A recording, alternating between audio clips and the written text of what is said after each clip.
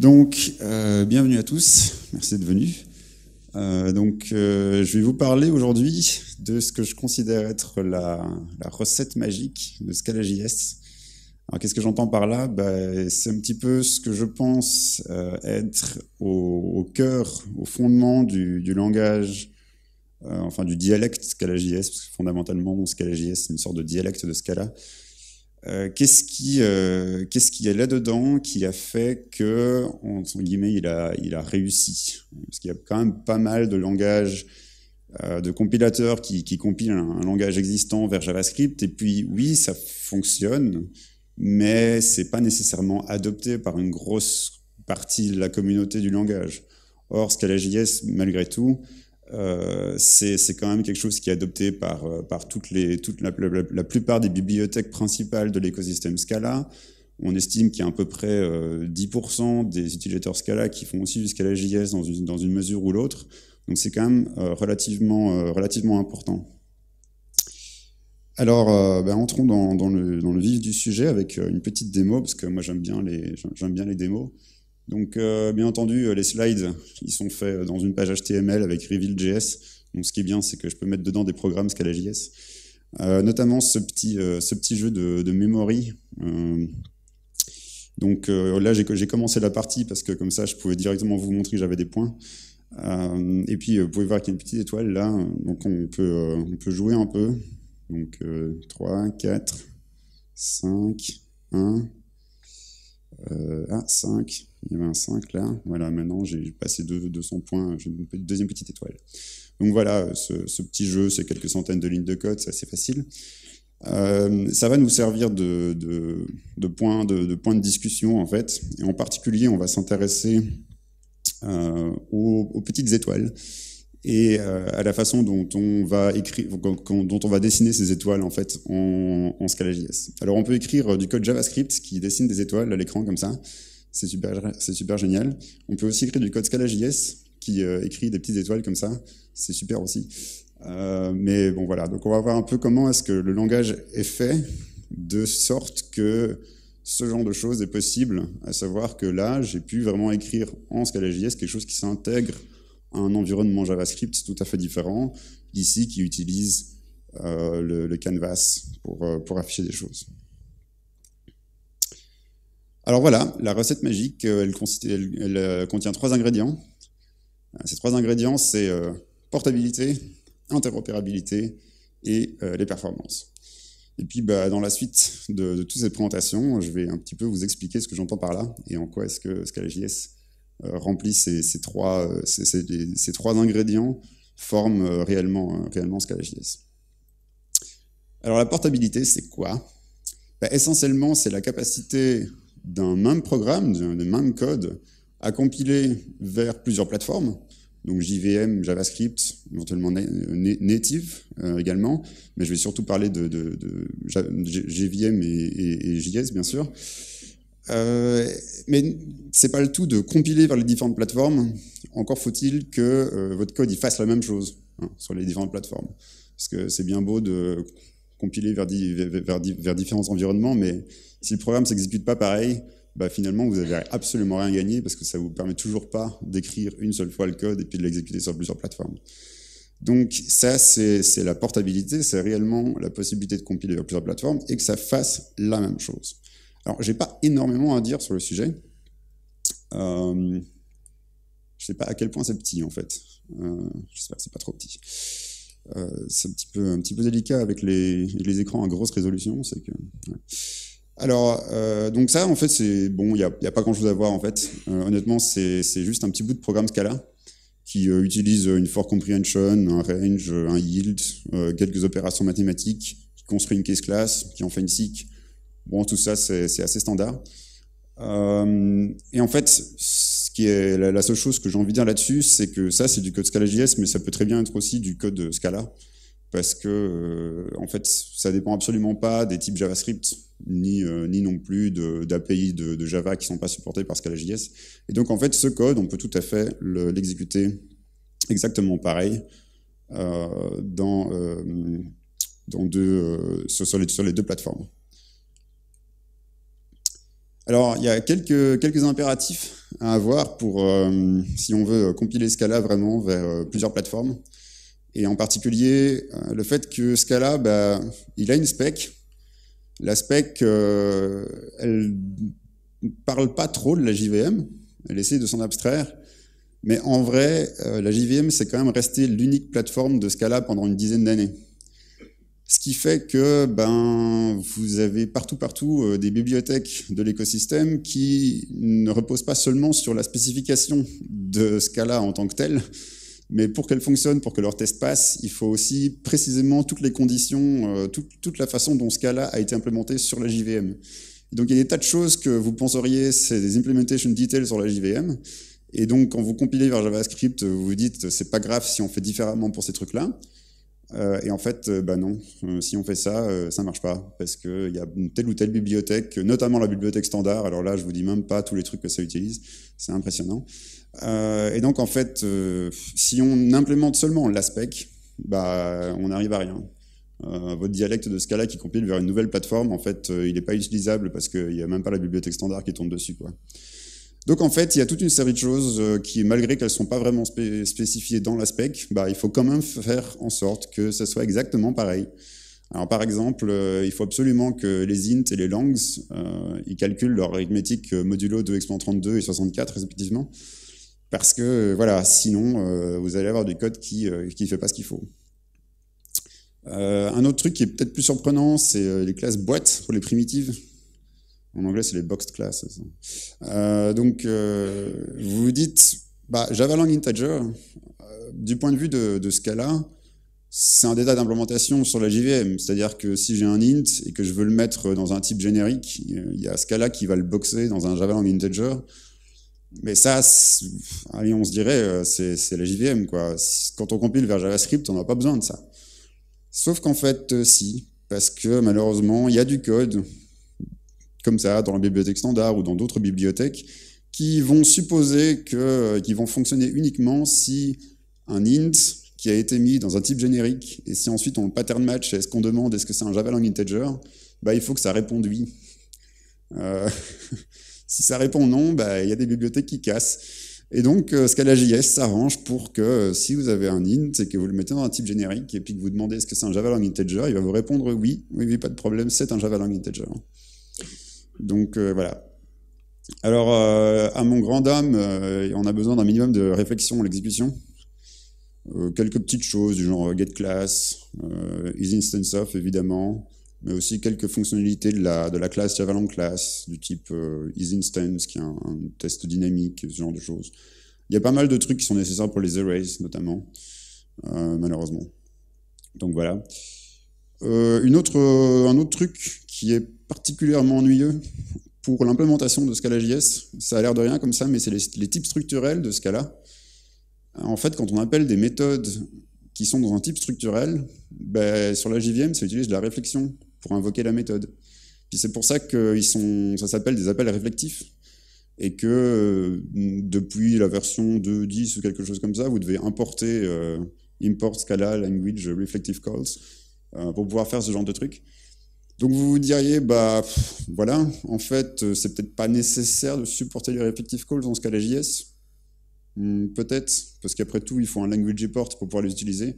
Sauf que, bon, bah, comme vous le savez, tout le monde met euh, dash language de point underscore, et donc en fait, euh, il y a donc en fait, il y a absolument aucun contrôle qui est fait. Et donc en fait, il y a des, tas, du, tas de codes qui utilisent les, les appels réflectifs.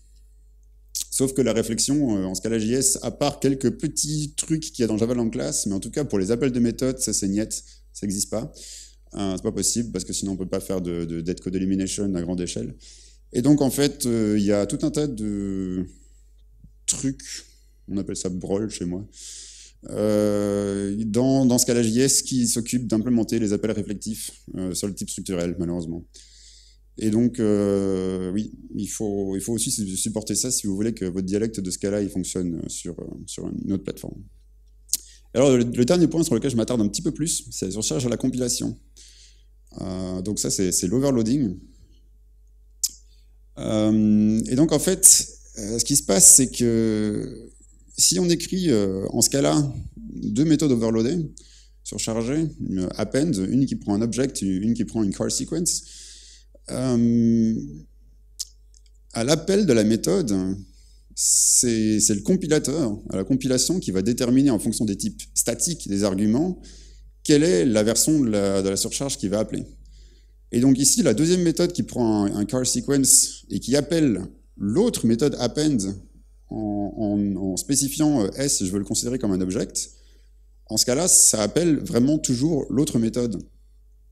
Sauf que si vous compilez ça en JavaScript sans faire attention, euh, juste en, traduisant ça de la façon dont on ferait en, JavaScript avec des, tests au runtime pour tester est-ce que c'est une string ou est-ce que c'est un object ben, En fait, vous vous retrouvez euh, dans, la situation en dessous, là, où finalement, euh, si vous l'appelez avec une chaîne de caractères, ben, ça va faire une récursion infinie parce que est-ce que c'est une car sequence? Oui. Ah ben, rappelle la même méthode, mais avec le même argument. Ben, peu importe son type statique, son type dynamique, c'est toujours string, donc c'est toujours une car sequence, et donc ça recommence. Donc on ne peut pas se permettre de compiler les méthodes surchargées de ce cas-là en JavaScript comme ça on est obligé de euh, faire des trucs tout moches euh, et d'ajouter, euh, de, de, mangler, comme on dit, les, noms, les noms des méthodes. Et donc, on va écrire une méthode append double underscore object double underscore unit pour dire c'est la méthode append qui prend un object en argument et qui renvoie unit. Et puis, on a une autre qui prend, qui prend call sequence. Alors, pourquoi est-ce que je parle plus de ça? C'est parce que c'est bien beau d'avoir utilisé ça pour implémenter la, sémantique de, Scala et de, la surcharge correctement. Mais une fois que vous faites ça, après JavaScript, il comprend plus rien.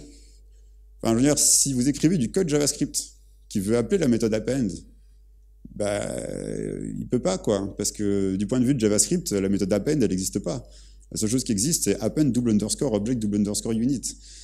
Et donc, si on fait ça dans le compilateur, on perd beaucoup en interopérabilité. Donc la capacité de pouvoir parler à JavaScript et de JavaScript de pouvoir nous parler à nous. Donc on a été obligé de faire ça pour avoir la portabilité, parce qu'il faut que le même code il puisse s'exécuter pareil sur la JVM et sur JS. Mais à cause du fait qu'on a fait ça, on a perdu l'interopérabilité. Donc on a perdu la capacité de parler avec JavaScript. Donc c'est un peu problématique. Donc c'est là qu'on va euh, on va arriver dans, la suite, on va voir comment est-ce qu'on rattrape l'interopérabilité. Alors, il y a des trucs, on pourrait, on pourrait se dire c'est vraiment important, et pourtant, ça, on a pu, on a pu faire sans. Hein. donc, c'est des trucs, ça, c'est des codes qui sont pas portables. Si, vous écrivez ça en, Scala JS et en Scala JVM, ça va pas faire la même chose. Euh, par exemple, la, première ligne, là, le 5, qu'on upcast en ANI, et puis on demande est-ce que c'est un double, euh, est-ce que ça répond oui ou non en Scala JVM Qui dit oui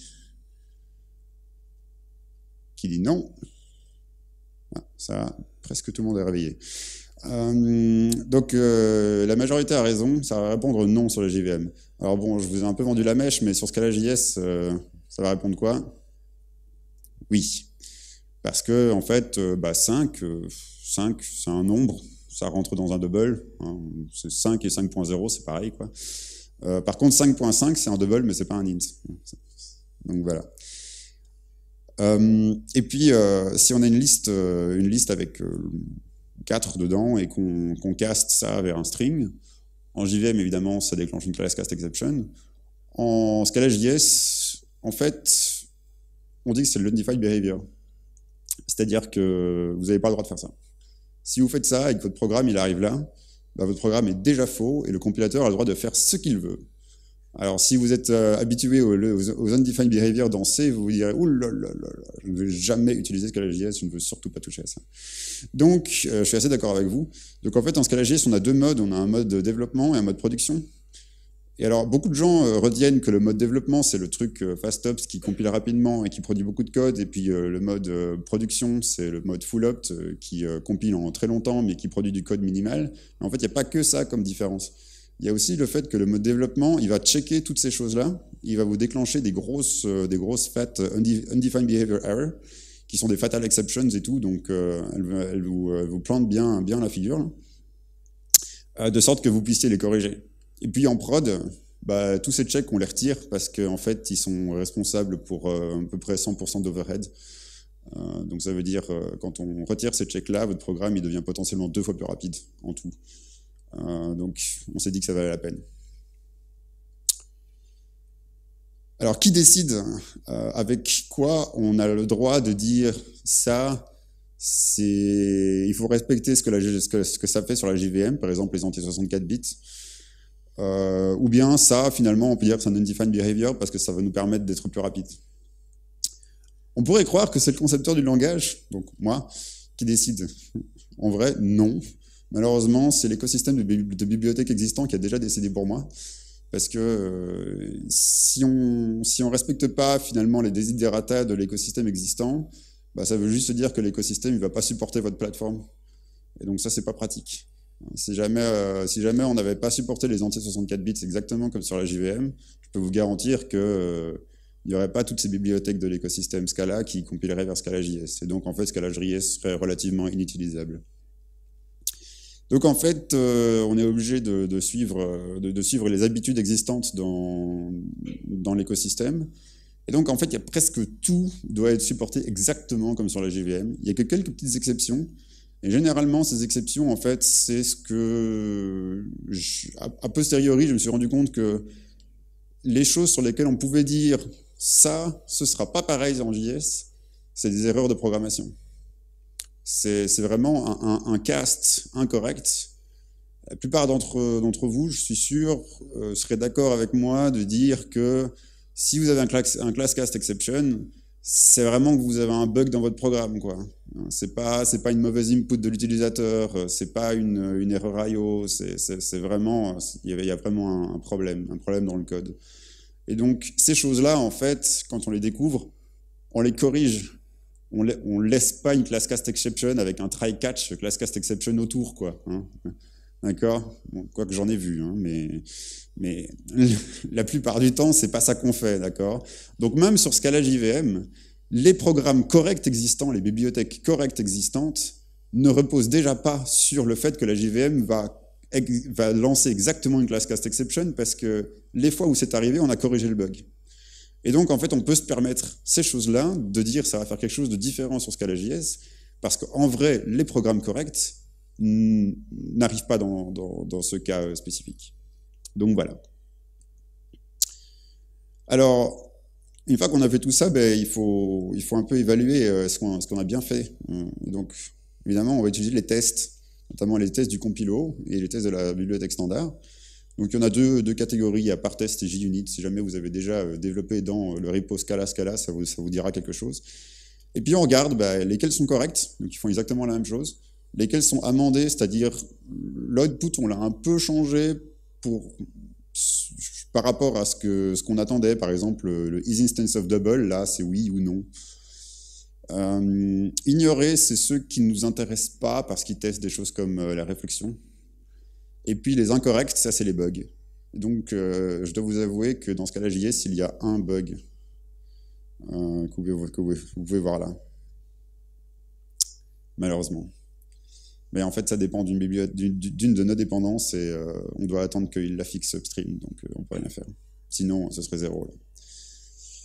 On peut aussi regarder ce qu'il y a, les, tests des bibliothèques de l'écosystème et puis prendre des bibliothèques qui, euh, qui cross-compilent sur la JVM et sur JS, et puis regarder, euh, évidemment, là, tous les tests passent, hein, mais euh, il y a certains tests qui sont shared, qui, qui, sont exactement les mêmes tests sur JVM et sur JS, et puis il y a des tests qui sont spécifiques à la JVM.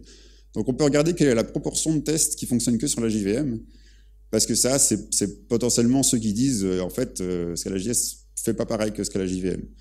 Et donc on, on en trouve à peu près 4, euh, 2 et 1% dans, dans Shapeless, Z et, et. Et en fait, euh, en, analysant un peu euh, qualitativement quels sont, ces tests, c'est beaucoup des choses qui, ont besoin de pouvoir utiliser await result sur des features.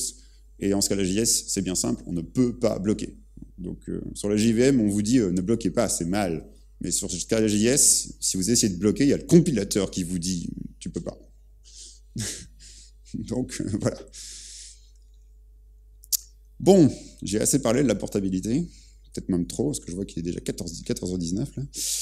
Euh, donc on va parler de l'interopérabilité, parce que ça c'est quand même la partie cool. Donc l'interopérabilité, c'est pas le tout de pouvoir compiler vers plusieurs plateformes et de faire la même chose, mais ce serait bien aussi qu'on puisse interagir avec la plateforme en question.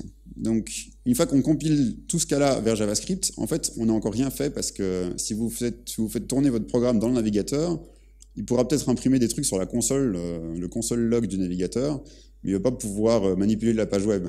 Donc finalement, euh, à quoi bon hein Donc c'est très important de pouvoir parler aux bibliothèques JavaScript.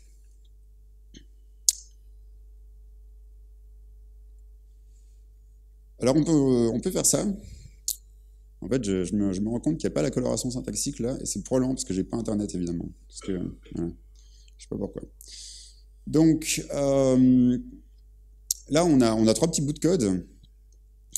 Euh, le, premier, le premier bout de code, c'est un, un, bout de code en JavaScript qui utilise une bibliothèque euh, Phaser, euh, qui est une bibliothèque pour du développement de, jeux. Donc c'est la bibliothèque, c'est celle du code qui est réellement dans le jeu que, j'ai montré au début. Et puis juste en dessous, il y a le code équivalent en Scala JS qui ressemble à s'y méprendre.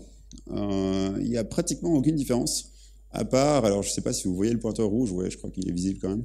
Euh, ici, on utilise des, paramètres nommés, alors que là, pas. Et ici, on a dû mettre un undefined parce que le paramètre, euh, on voulait garder sa valeur par défaut. Mais simplement, en Scala JS, on n'a simplement pas mis le paramètre parce qu'il a une valeur par défaut. C'est bien mieux. Euh, et, puis, et puis sinon, bah, c'est la même chose. Quoi. Oui, mais JavaScript, il est dynamique pour typer. Hein. Donc, le, le, compilateur Scala, quand il voit ce code Scala JS, euh, il n'est pas content parce que c'est quoi Phaser, c'est quoi, quoi Game, euh, comment ça se fait que tu fais un new là-dessus, etc., etc. Donc euh, tout ça, c'est pas défini puisque c'est défini en JavaScript. Donc ce qu'on fait, c'est qu'on écrit des façades. Et ça, c'est le troisième bout de code que vous avez là. on, va, on va écrire des, types façades, donc juste l'interface de, des API JavaScript avec lesquels on veut communiquer. Donc on va écrire un object euh, phaser qui est en JSObject, et on va dire il est at JSNative et at JSGlobal, ça veut dire JSNative, c'est du code JavaScript qui définit cet objet, ce n'est pas l'implémentation qui est ici, ici c'est juste une façade. Euh, et puis il est JSGlobal, c'est-à-dire que l'objet phaser, on va le trouver dans le global scope de JavaScript. Et puis à l'intérieur, il a une classe interne, game, qui elle-même est native, qui a un constructeur qui prend une width qui est euh, soit un double ou, un, ou une string. Alors, c'est pas Scala 3, hein, c'est Scala 2. Donc, en Scala JS, on a les union types depuis, euh, depuis 3 ans. Euh, donc, on, peut, on, peut faire ça. On peut, on, peut, on peut définir comme ça toute, toute l'API, de sorte que le, le morceau de code au milieu, il compile, il passe le type checker. Alors, c'est bien beau de passer le type checker, mais après, qu'est-ce que ça veut dire? Qu'est-ce qui va, qui va s'exécuter quand on exécute ce code? Parce que là, si j'interprète selon les règles de Scala, je vais juste euh, appeler une méthode qui, dont le contenu, c'est un appel à cette fonction js.native, qui en fait, si vous regardez le code source, elle déclenche une exception. Hein, donc, donc évidemment, on donne des sémantiques particulières à ça. Et euh, alors, faut pas tout lire. Hein. Euh, ça, c'est juste une page de ma thèse. Euh, avec, avec la moitié de la sémantique de Scala.js, donc c'est la spec, en fait, qui dit bah, si vous avez dans une déclaration de classe JavaScript, qui est en JS ANI, quelque chose, une déclaration de, de, la première colonne, et puis vous avez quelque part dans le programme une expression de la deuxième colonne, eh bien, sa sémantique, son sens, ce que ça va faire à l'exécution, c'est décrit par la troisième colonne. Et donc, si on prend la toute première ligne, bah, si on a une méthode m avec euh, des parenthèses qui renvoient un r, et qu'on appelle x.m, en euh, sa sémantique, ça va être traduire récursivement la sémantique de x, l'objet euh, receiver, et puis d'appeler la méthode m en JavaScript, pas en Scala. Donc ce ne sera pas m underscore underscore object underscore unit, hein, ce sera m. Et ça, c'est parce que X est d'un type JS Donc on a deux grandes catégories de types en Scala JS. Les types NIRF et NIVAL, qui sont des types Scala, qui répondent aux sémantiques Scala. Et puis tous les types JSNI, qui sont des types JavaScript, qui répondent à la sémantique JavaScript telle qu'elle est définie ici. Et on peut faire ça pour plein de trucs. Et puis on peut appliquer ça. Donc si on a cette expression qui est, là, pardon,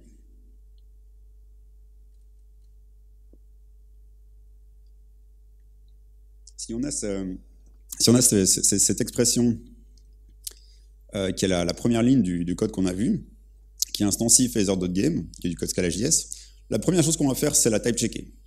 Parce que comme vous le savez, en Scala, type checker, c'est pas seulement donner un type à chaque expression qu'il y a dans le programme. Ça fait aussi des choses. Ça invoque des implicites. Ça résout les paramètres nommés. Ça fait tout un tas de trucs. Donc, d'abord, on type check. Et ça, bah, ça va nous donner un truc où les paramètres nommés ont disparu. Mais par contre, le paramètre qui manquait, qu'on n'a pas spécifié, on va retenir dans le programme qui est en train d'être compilé. Là, on veut la valeur par défaut. Et puis maintenant, on va utiliser le tableau du, slide précédent et on va récursivement traduire cette expression. Alors on regarde, bah, on fait un new phasor game, mais phasor game c'est une classe JavaScript. Donc on applique la règle qui euh, décide ce que ça veut dire de faire new sur une classe JavaScript. Et donc ça va faire un new qui est du code JavaScript cette fois-ci, la traduction récursive de l'expression js.constructorOf de phasor_game, et puis en paramètre la traduction récursive de chacun des arguments. Et on joue ce petit jeu. Euh, si on traduit js_constructorOf, on a la traduction récursive de phasor.game. Le phasor lui-même devient chercher phasor dans le global scope de JavaScript, et puis tous les paramètres récursivement traduits. Et c'est comme ça qu'on arrive à ce que ça veut dire. Alors, ça paraît peut-être un petit peu abstrait comme ça, et quand on code en, en évidemment, on ne pense pas à toutes ces choses. Mais ce qui est, ce qui est important de se rendre compte ici, c'est que il est possible de raisonner exactement, spécifiquement, en suivant la spec, sur ce que chaque chose de Scala JS fait, et les façades ont une définition comme ça. C'est très rigoureux, c'est pas quelque chose qu'on fait euh, un peu au bol et que le compilateur fait ce qu'il veut. Hein. Alors on peut aussi définir des classes, euh, des classes JavaScript. Donc par là, j'entends écrire en Scala.js avec l'implémentation une classe qui hérite de JSANI, donc qui aura la sémantique JavaScript. Et ça, on doit faire par exemple pour, euh, pour new, new, State, parce que Game State, l'argument de, de, add ici, c'est censé être un state qui est en fait une abstract class dans la bibliothèque Phaser. Donc c'est nous qui devons implémenter notre propre state. Alors ce qui est bien, c'est qu'on on peut faire ça.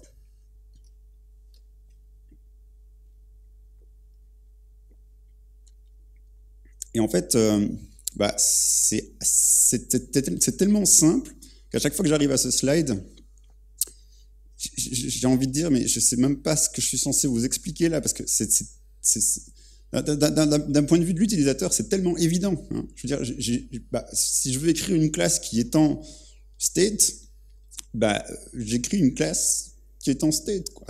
Hein. c'est ça que le code, le code en haut, il fait. Et, puis, on, implémente ces méthodes, on les override, et puis voilà, on, on écrit du code. Quoi. Enfin, c'est normal. Euh, sauf que, sauf qu'en fait, euh, derrière la, machinerie qui, supporte ça, c'est assez, impressionnant. Et, en fait, on, a besoin de nouveau de toute une série, donc ça c'est la deuxième moitié de toute la sémantique de Scala.js, une autre page de ma thèse, qui définit ce qui se passe quand on définit une classe euh, qui étend transitivement JSON. Et de nouveau, on peut s'amuser à euh, utiliser ces règles pour comprendre exactement ce qu'on vient de faire. Et donc le code qui est en haut, c'est le même qu'avant. La première chose qu'on va le faire, c'est élaborer euh, sa version typée, donc utiliser le type checker, résoudre les implicites, etc. etc.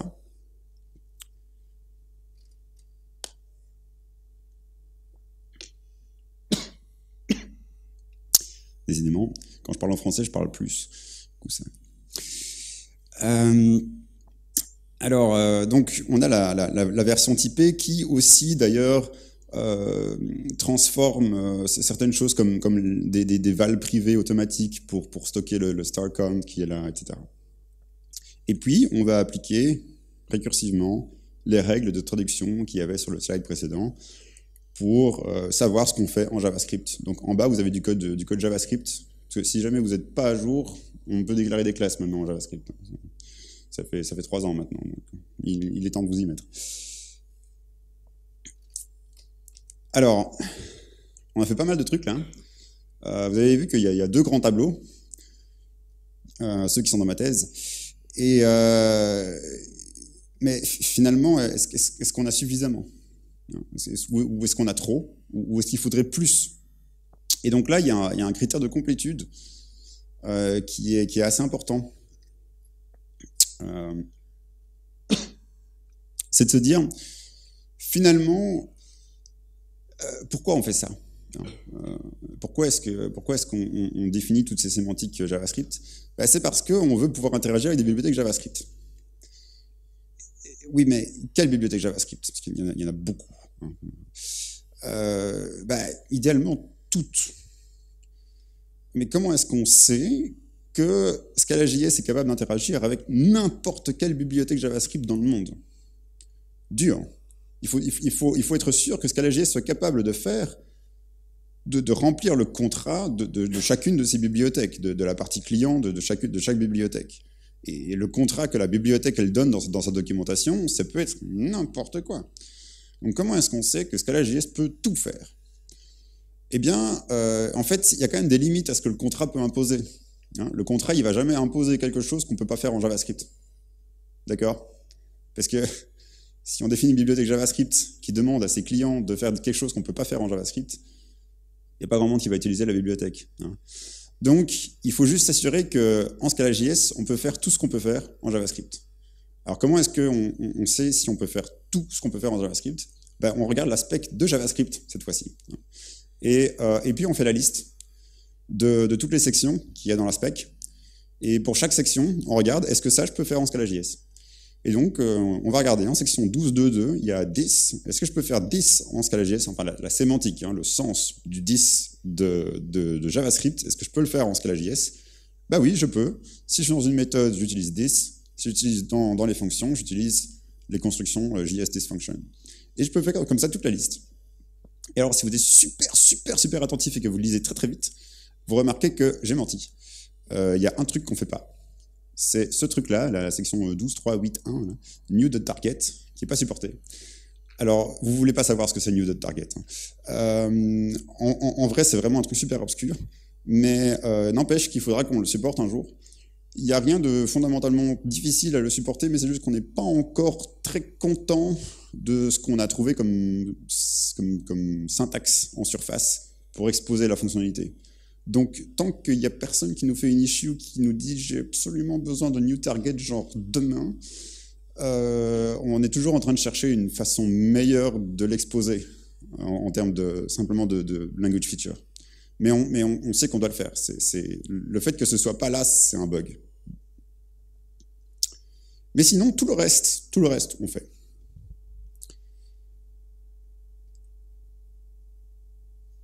Alors, je vais passer relativement vite là-dessus. Euh, j'ai dit qu'il y avait deux, euh, vous vous rappelez qu'il y avait deux grandes catégories de types en Scala JS, les types Scala, AniRef, Anival, les types JavaScript, JS Ani et tous, ses descendants. On peut pas créer, on, peut les mélanger dans une certaine mesure, mais pas trop. On peut pas écrire une classe qui étant à la fois de type Scala et de type JavaScript. Parce que c'est deux hiérarchies de type totalement distinctes. S'il y a une classe qui étendait des deux, on ne saurait pas si elle doit avoir une sémantique Scala ou une sémantique JavaScript. Donc, c'est pas possible.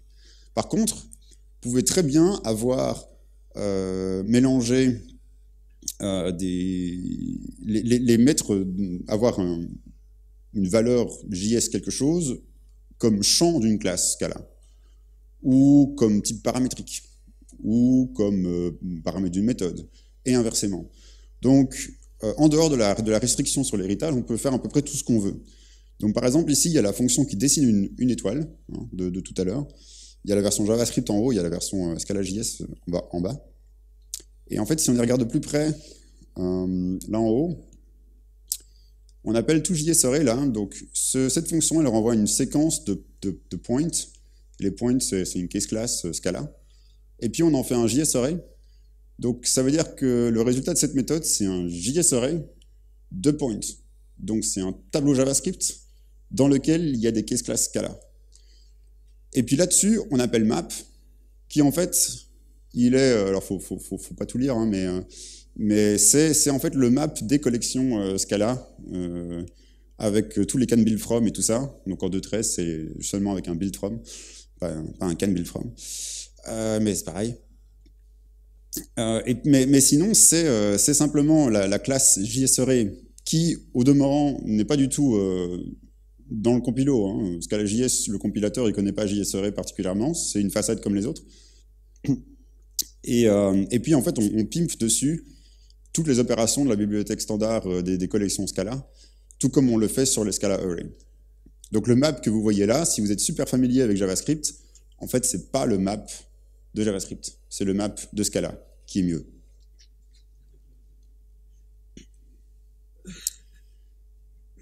Alors, je vais prendre 5 minutes pour euh, devenir un peu technique sur la représentation intermédiaire, donc euh, l'IAR de, de Scala JS. Donc, vous savez évidemment que Scala JVM, quand on compile pour Scala JVM, on transforme les points Scala en points classe. Et puis, euh, la JVM, elle prend les points classe, elle les compile en code natif, elle exécute. Scala JS, il compile pas vers des points classe, il compile vers des points SJSIR, qui sont l'IR de, de, ScalaJS. Et puis au link time, on a quelque chose qui prend le SJSIR de toutes vos dépendances et de votre programme, qui fait un gros melting pot avec, avec qui optimise le tout, et ensuite qui transforme ça en un fichier JS. Alors à quoi ça ressemble et à quoi ça sert? Euh, Si on regarde la classe GameState qu'on avait tout à l'heure, on peut regarder son, son IR, qui, se pretty print un, un peu comme ça. Ça ressemble à du JavaScript et un peu du Scala, c'est un peu tout mélangé comme ça. Euh, et euh, donc on peut, on peut définir une JS class qui a ce nom euh, super bizarre là parce qu'il est dans le package stars et puis il s'appelle GameState, qui étant un truc qui a des champs, qui a un constructeur. Vous voyez qu'en JavaScript, le constructeur d'une classe c'est simplement la méthode qui, dont, dont son nom c'est constructeur. Euh, et puis on, fait des tas de choses. Un truc qui est intéressant à, remarquer, c'est euh, ah oui, ça, ça, sert à rien, ça. D'accord. Bon. Euh, il devait y avoir un, un, un couleur différente, mais essayé, ça n'a pas chargé. Merci Internet. Donc, donc, une chose intéressante, c'est aussi ce, ce, cet argument au constructeur là.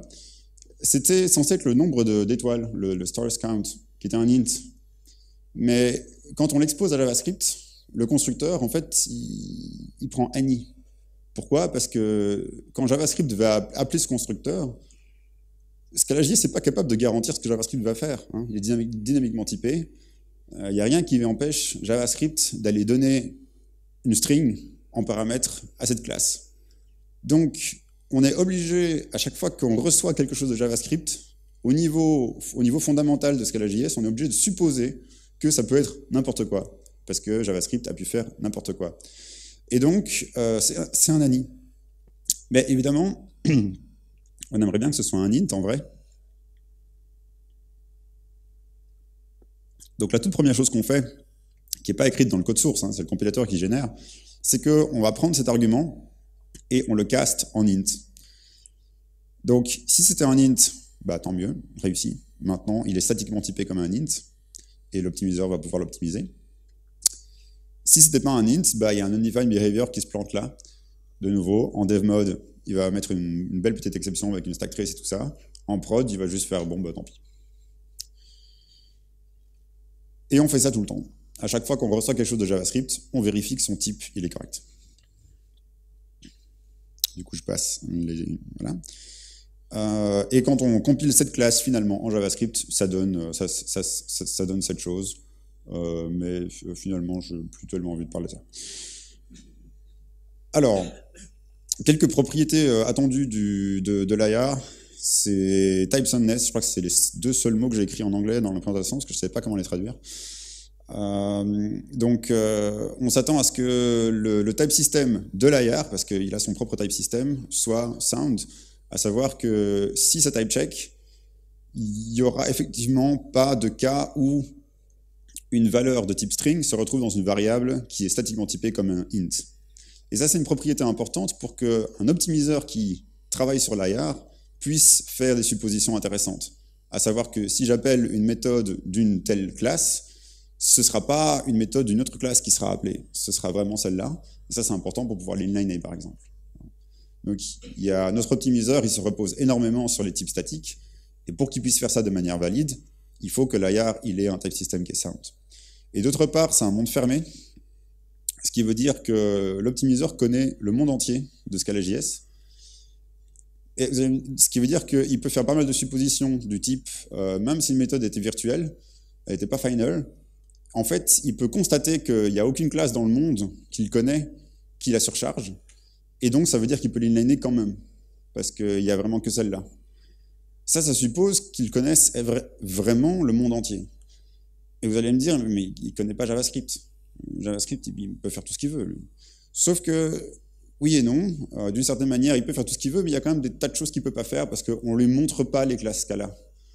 Donc, c'est pas possible pour, JavaScript d'aller étendre une, de, nos classes Scala puisqu'on lui montre jamais. C'est quelque chose qu'on enferme, qu'on encapsule bien dans le produit de Scala.js. Il peut étendre des classes JavaScript qu'on a écrites en Scala.js, mais pas les classes Scala qu'on a écrites en Scala.js. Et il y a toute une série de règles comme ça. Et donc ces deux propriétés sont assez importantes pour que l'optimiseur puisse faire son, boulot euh, de manière, de manière intéressante. Alors ça, c'est la partie que vous attendez tous. Euh, c'est euh, qu'est-ce qui est, qu est nouveau en Scala.js 1 Alors, il n'est pas encore sorti, hein, Scala.js 1.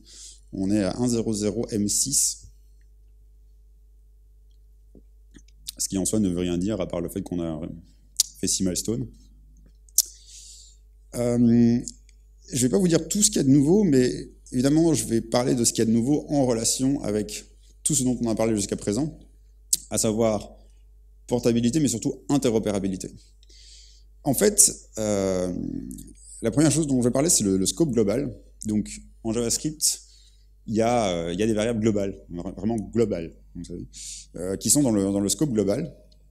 Et en fait, il y a pas mal de choses qu'on doit accéder à travers ce, scope global. Euh, en JavaScript, malheureusement. Et puis, bah, voilà, donc vous avez une petite fonction JavaScript ici qui, euh, appelle la fonction euh, require de, de Node.js, qui est une fonction qui est globale, enfin, elle est dans le global scope, plus ou moins. Si on écrit ça en Scala.js, qu'on utilise jsDynamic global.require, euh, en Scala.js 06, bah, en fait, ça va être compilé comme quelque chose du, type $g crochet require et ça va faire une erreur à l'exécution qui dit euh, $g require is not a function. Ou, si vous n'avez pas de chance, undefined is not a function. Alors, euh, pourquoi? Ben, Parce qu'en fait, en, en Scala.js 06, JS Dynamic Global, ça représente l'objet global de JavaScript, et non pas le scope global de JavaScript. Et en fait, jusqu'en ECMAScript 5.1, ben, c'était la même chose, l'objet global et le scope global une variable foo, elle, était dans l'objet global si et seulement si elle est dans le scope global. Ce qui veut dire que Scala.js 06 pouvait se permettre de juste vous exposer l'objet global et prétendre que c'était le scope global, parce qu'en fait, c'était la même chose. Sauf qu'en ECMAScript 2015, euh, bah, ils ont changé. Oups, pardon. Et ils ont dit, euh, maintenant, il y a des trucs qui sont dans le, dans le, dans le scope global qui ne sont pas dans l'objet global, parce que j'ai pas envie. Et, et, donc évidemment, ça pose un problème pour Scala.js 06 parce que, parce que Scala.js 06, il prétend que le scope global, c'est pas très important.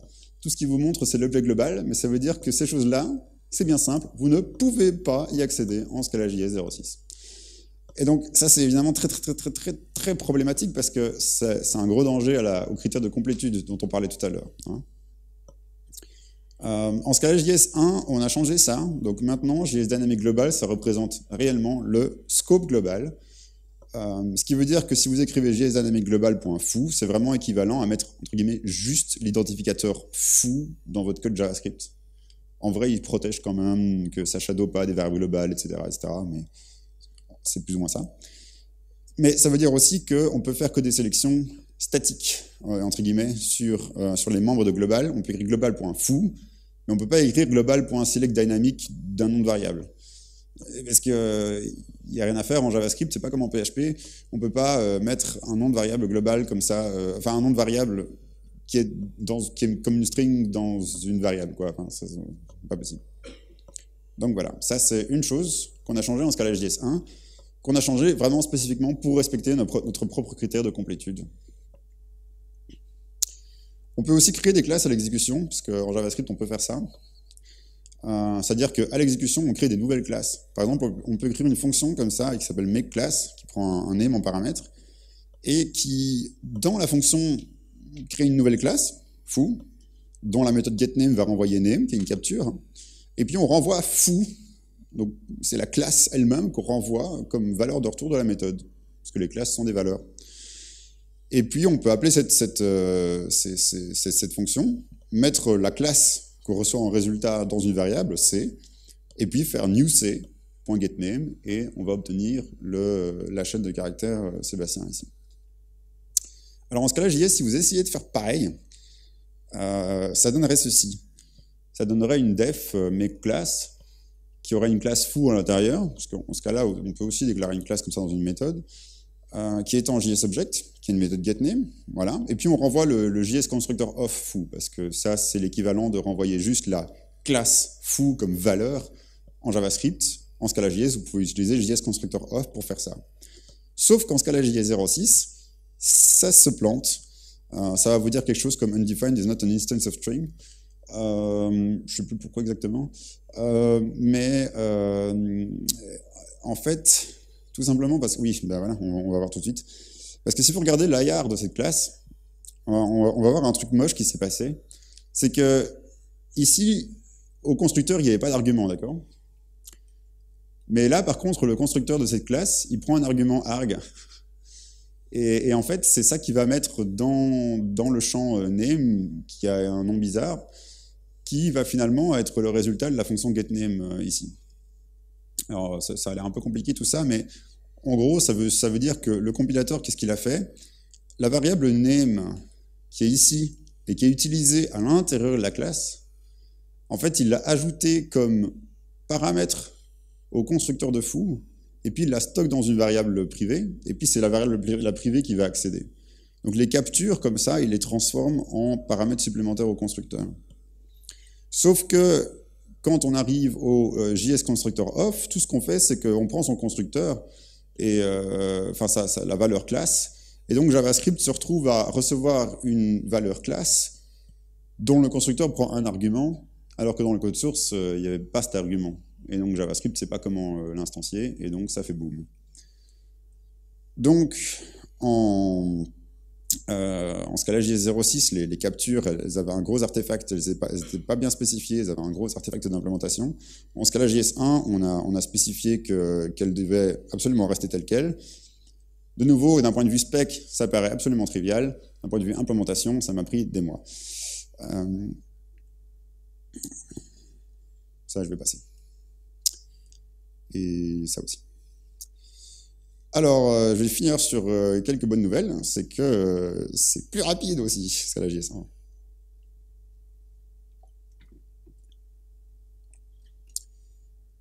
voilà, en, mode développement, donc en, en FastOpJS, Scala JS1, en bleu clair, vous avez sans utiliser notre optimiseur, et en bleu foncé, vous avez avec notre optimiseur. Et en fait, l'échelle, je ne sais pas si vous voyez, si, si ça a l'air suffisamment grand, euh, le, le, le, 1, c'est la vitesse à laquelle la JVM elle va. Et puis c'est le temps d'exécution. Donc, si on est au-dessus de 1, ça veut dire qu'on est plus lent que la JVM. Si on est en dessous de 1, ça veut dire qu'on est plus rapide que la JVM. vous savez quoi? Là, on est en dessous de 1. Donc on a un benchmark où euh, Scala est plus rapide que Scala JVM, ce dont je suis très fier. Euh, Pardon?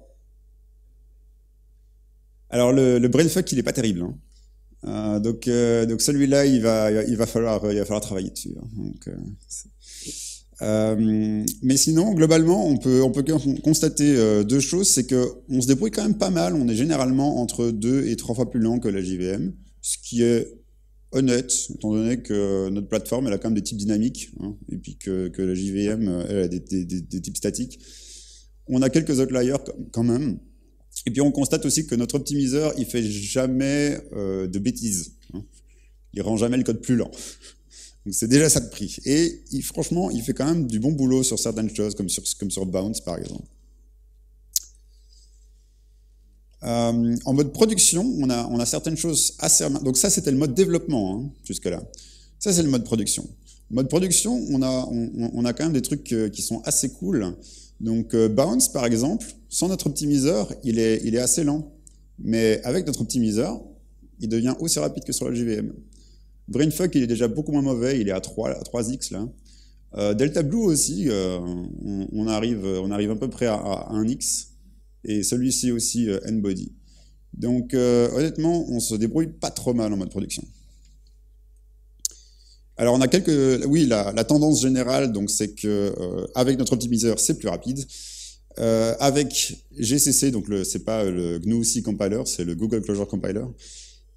c'est plus rapide aussi. Euh, mais surtout, quand on combine les deux, euh, c'est très très intéressant, la plupart du temps. Euh, oui, donc GCC a tendance à rendre le code que nous n'avons pas optimisé plus rapide, mais le code que nous avons déjà utilisé, généralement GCC ne fait pas, ne fait pas mieux. Il ne le rend pas plus rapide. Par contre, il le rend beaucoup plus petit. On a quelques anomalies, notamment le, le, GC Bench, que j'ai toujours pas compris pourquoi, mais euh, là, la combinaison de GCC et notre optimiseur, qui est la dernière colonne, elle est beaucoup plus rapide que les autres, euh, je ne sais pas pourquoi. Euh, et puis les autres, ils sont super flat. J'aime beaucoup le Mandelbrot, parce que celui-là, on, peut, on, peut, lui faire tout ce qu'on veut, il bouge pas, il est toujours à exactement 0.85 ou 85 x de la JVM. Donc voilà. Bon, ben, c'est à peu près tout ce que j'avais à dire, ce qui tombe bien parce qu'il est 51, euh, mais je veux bien prendre quand même une ou deux questions. Oui Je crois qu'il y a un micro pour les questions, non? Ouais.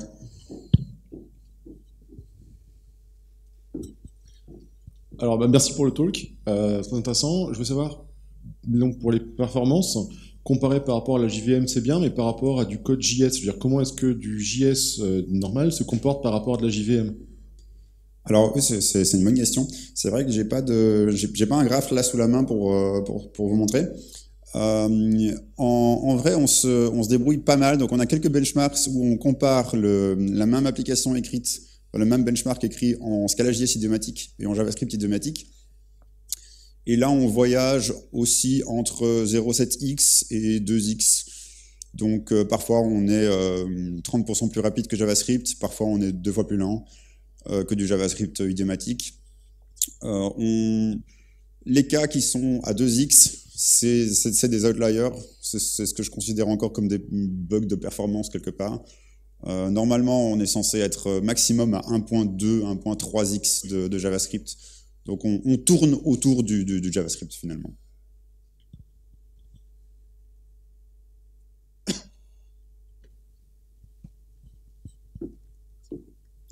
Euh, merci beaucoup.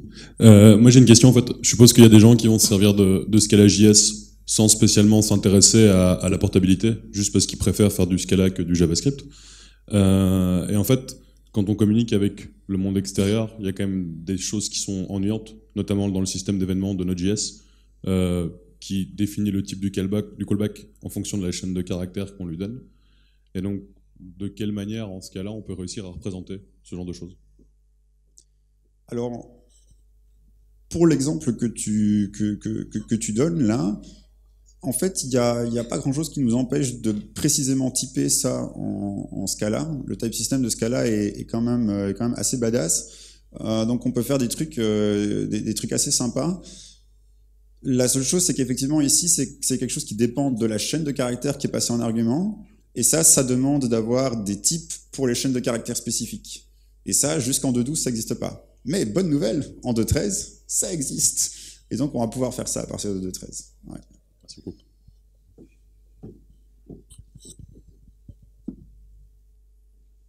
Alors, je crois... Ah, il y a une main qui se lève devant.